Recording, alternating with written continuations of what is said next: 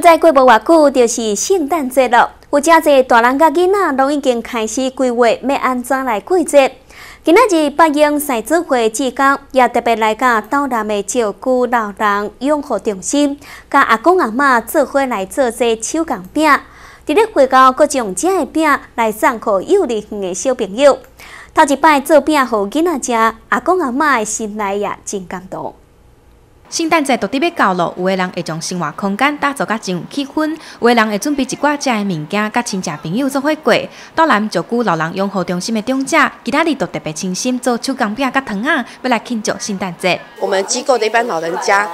大部分都是一般一般呃外面的呃慈善机构或者是学生学生团体，他们进来关怀老人家。其实我们是手心是朝上的，好，那我们是接受关怀的。可是说真的，我这次的活动是主要是说让他们有社会参与的能力。其实他们心理上也会想要有一个对社会付出的那种心力。那他来这个机构呢，他所付出的心力其实有限。那我想说，借这次的活动，首先向向下的活动是说，我们这批长辈借着手工饼干，可以走出去分享给小朋友，让他们觉得说，其实他们还是有成就感，他们对这个社会还是有一点点的贡献的。八英三亚回志刚，今天立马来陪伴阿公阿妈到定做手工饼。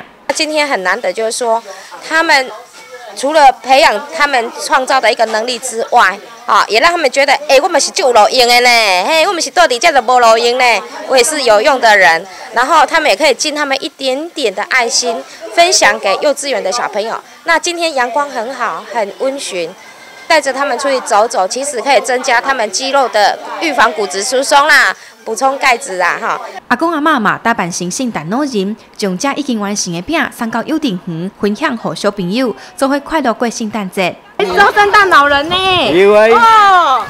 嘿，你要提这边送给小朋友呀？丢丢丢丢。这是啥物？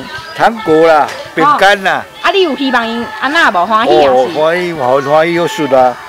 欢喜好顺啊！哎，个系欢喜好顺啊！哈！啊，咱台语讲食啦，啊，讲说较好听咧。讲说较好，较好听嘛，较好食吼。对啊。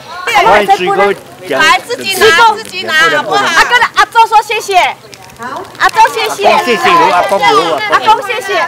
虽然是一份简单的小礼物，但是其中有阿公阿妈亲切的祝福、温馨的互动画面，和大人甲囡仔伫家节前拢感受到满满的温暖。